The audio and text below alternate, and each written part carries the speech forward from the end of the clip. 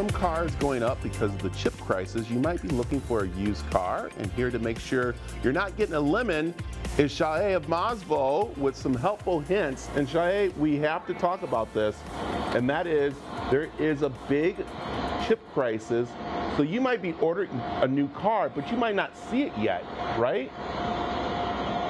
That's correct. Right now, it's everything's on pause. After the pandemic, it just basically became halt. Uh, obviously, when they say chip shortage, it's basically the manufacturer just stopped producing cars. That dominoed into parts as well. So on my end, though folks are looking for new cars, I'm also waiting for parts. So it's really a bad crisis right now. And so it's pushed the market to say, all right, I'm not patient. I want a car. So the used car market just skyrocketed, and of course, with higher prices. Yeah, but when it goes to a used car, you've got to make sure you are doing your best at checking everything out, and that's where you come in. So let's go through some of the tips because someone probably right now is on their way to take a look at, an, at a used car. Yes, uh, you're, you're absolutely right. So first things first, always, always, regardless of your I need, you need to make sure you separate uh, emotional with sensible. Don't buy a car based on the beautiful sunroof and the roof rack uh, or the convertible or the big wheels or the step sides. You want to base it on functionality. If it's just going to be you in the car uh, all day and no one else, and once in a while you have another passenger, you don't need to be in a six passenger vehicle that's a 4x4 with all these roof racks and all the add-ons. So don't don't buy too much car. That's step number one. Okay. Step number two is make, yeah. Go ahead. I, I was going to say and, step number step two. two yeah.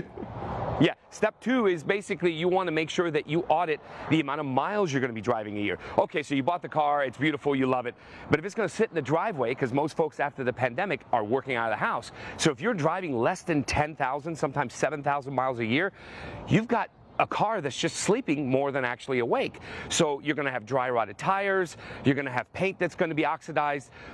So make sure you really, really audit and understand what it is that you want for value versus I just need a car to get to and from. Oh, okay, let's talk about miles because I've been seeing these cars who have 120,000 miles on it that are asking, you know, for almost $10,000. Is, is that a price we need to start looking at? Yeah, you know, it's it's unfortunate, but right now the the amount of uh, uh, price hike is just so crazy. It almost makes you stop and say, all right, if I'm going to buy this vehicle for 10, 15,000, what is this vehicle brand new? Oh, 21,000 or 22,000?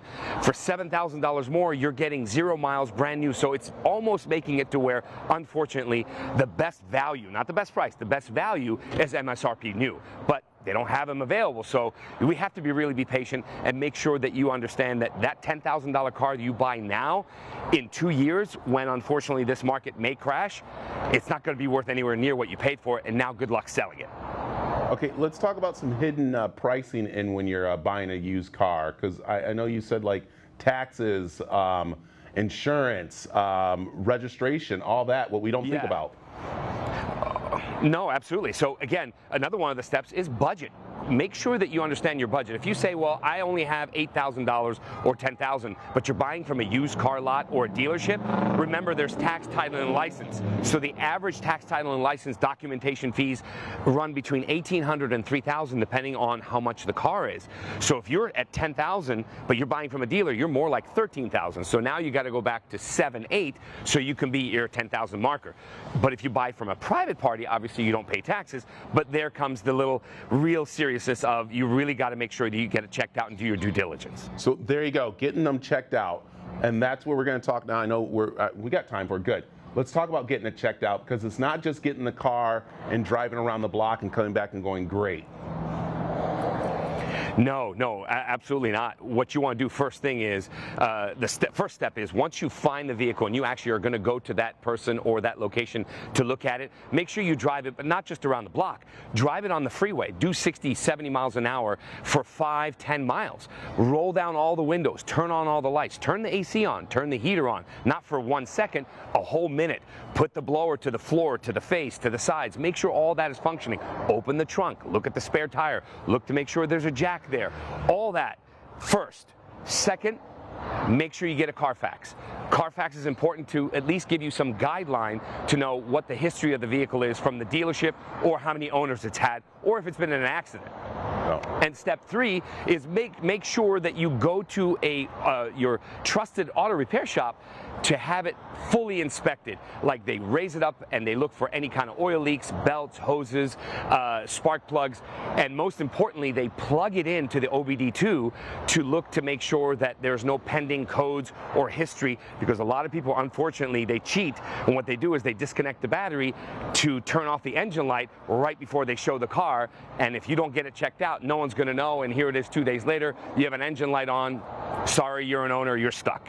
Exactly, right there. Um, Shahey, tell them how they can bring a car over, over to you to get checked out.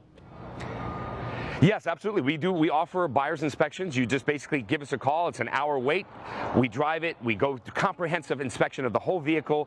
We'll let you know if it looks like it's been hit, repainted, and of course, along with your Carfax that you can bring, we'll give you the guideline to say yes, this is a good vehicle, or if it's not, at least give it in writing so you can go back to the seller and say, look, you're asking this much, but look at everything it needs. Can we negotiate? Can you drop the price down so I can fix it and be within my budget? I like it. All right, come on back later on the show and we'll talk about leasing, uh, which is very interesting, coming from a mechanic because he says it's kind of the same thing you need to be checking out too, leasing. So we'll talk about that later on.